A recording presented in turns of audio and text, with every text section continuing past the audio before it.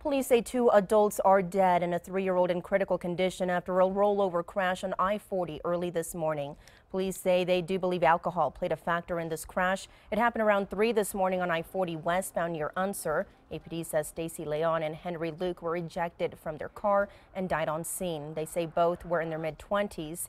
Police say a three-year-old boy is clinging onto life while a six-year-old girl is in stable condition. Officers say they found numerous beers, beer cans inside the car and at the scene.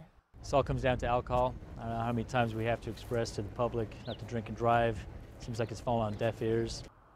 Now, the crash did shut down the westbound lanes for several hours overnight. Police say witnesses reported seeing the car swerving before it swerved into a semi and rolled. Police do believe it was a family inside that car.